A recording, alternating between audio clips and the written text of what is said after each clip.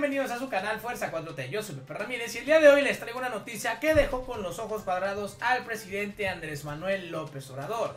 Y es que siguen sucediendo cosas extrañas en el estado de Jalisco y el día de hoy el presidente Andrés Manuel López Obrador decidió revelarlas. Y es que el ejército mexicano, a pesar de que está haciendo todo un esfuerzo para tratar de regresarle la paz a las y los mexicanos, está fallando en el estado de Jalisco y esto se debe al grupo de las cuatro letras y que el gobernador de Jalisco se hace de la vista gorda al tratar de combatir a los delincuentes. Pues el día de hoy el presidente rompe el silencio y no solamente esto, sino que se da a conocer un triste hecho que está dando mucho de qué hablar en el país. Pero ¿qué es lo que está sucediendo? Pues te invito a que te quedes aquí conmigo para averiguarlo. Pero antes de pasar a la noticia, si a ti te gusta estar informado, te invito a que te suscribas a este canal y le des clic a la campanita. Y ahora sí, Pasemos a la información. es que familia, el presidente Andrés Manuel López Obrador ha estado muy pendiente de lo que está sucediendo en el estado de Jalisco, porque parece que el gobernador de Jalisco, Enrique Pruebas Rápidas Alfaro, simplemente no puede hacer nada para contener la violencia que está imperando en este estado. De hecho, el mismo presidente Andrés Manuel López Obrador admitió que se deben de aplicar aún más tanto eh, las fuerzas del Estado como también las federales para regresarle la paz a las y los mexicanos. Al reconocer que es notorio que hay problemas de inseguridad en el estado de Jalisco, el presidente llamó a las autoridades de los tres ámbitos de gobierno a aplicarse más para garantizar la paz y la tranquilidad de la población de la entidad. En conferencia, el presidente señaló que por parte de su administración se trabaja de forma coordinada con el gobernador de Jalisco y se mantienen presentes eh, las Fuerzas Armadas en el estado, en donde destacó que se están construyendo cuarteles de la Guardia Nacional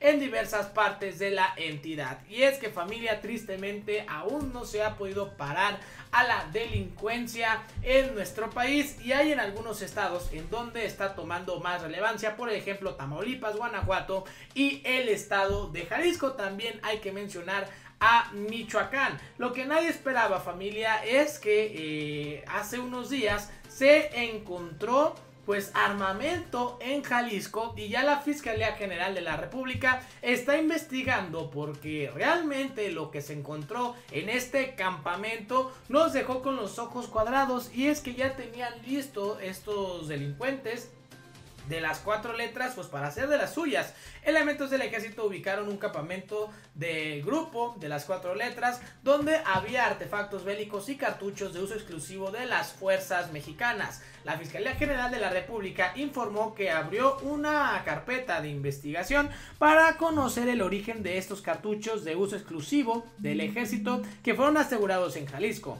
En la carpeta de investigación se señala que los elementos de la Secretaría de la Defensa Nacional realizaron un reconocimiento en las inmediaciones del poblado La Taberna. El armamento se aseguró en Gilotlán de los Dolores, Jalisco, donde se encontraron más de 1500 cartuchos y cargadores de uso exclusivo de las fuerzas Armadas. En dicho lugar se encontraron los cartuchos y cargadores, además fue ubicado un campamento de adiestramiento para integrantes de este grupo de las cuatro letras. Asimismo se encontraron chalecos y cascos tácticos, 45 portafusiles y 3 pares de botas tipo militar. Los asegurados se encuentran resguardados por la FGR que lleva a cabo las investigaciones para dar a los responsables, pero veamos el video de esto que sucedió. Estimados amigos, buenas noches nuevamente. La Secretaría de la Defensa Nacional, a través de la Comandancia de la Quinta Región Militar, hizo del conocimiento que personal del Ejército Mexicano, en el marco del Plan Nacional de Paz y Seguridad 2018-2024, este pasado 5 de agosto del presente año, localizó un campamento que se presume era utilizado por integrantes de esta organización criminal como campo de adiestramiento clandestino en la comunidad La Taberna, perteneciente a la demarcación municipal de Girotlán de los Dolores, municipio de Jalisco que colinda con Tepalcatepec en el estado de Michoacán.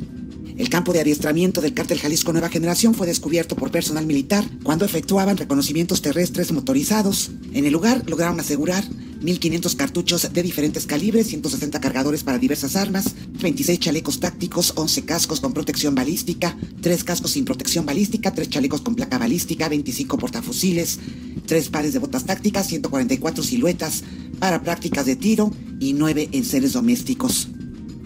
Lo asegurado fue puesto a disposición de las autoridades correspondientes.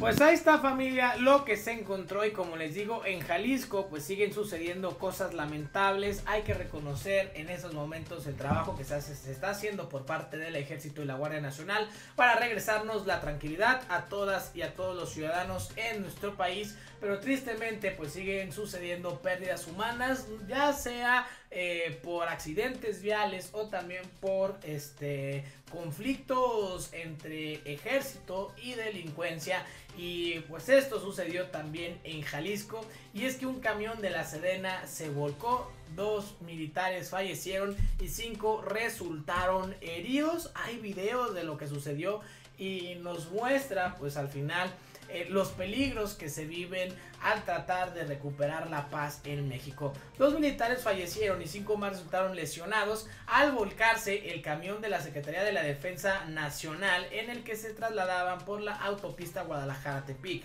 El incidente ocurrió alrededor de las 3.15 330, perdón, en el kilómetro 80 de la autopista en el municipio de Ostotipaquillo.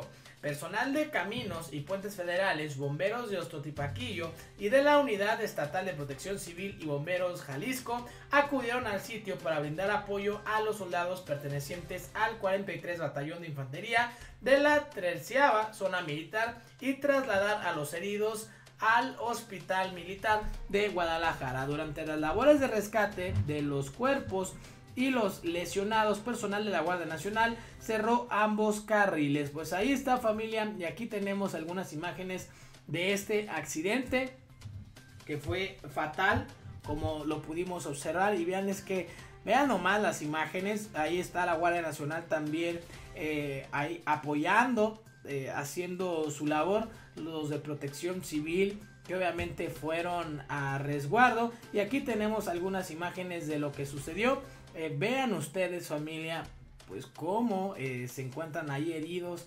algunos militares. El que va a mandar el... Obviamente porque cayeron en piedras o no sé, algo les cayó encima. Mendoza. Este, de la Guardia Nacional. Que le mandara todo porque vienen para acá, van a, van a mandar un helicóptero ahorita para acá.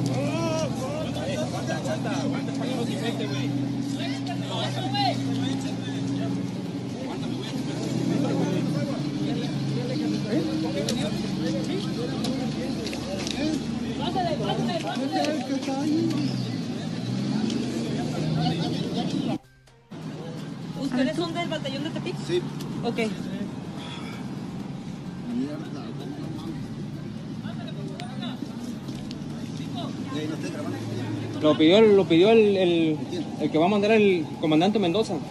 ¿Quién es ese güey? Mendoza. ¿Quién es? Este, de la Guardia Nacional. Que le mandara todo porque vienen para acá, van a, van a mandar un helicóptero ahorita para acá.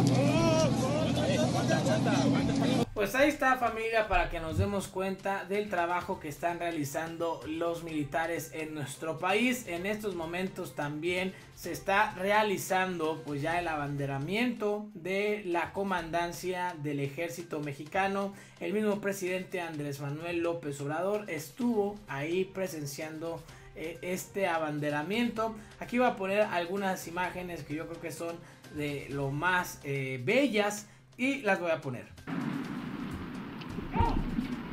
Hmm.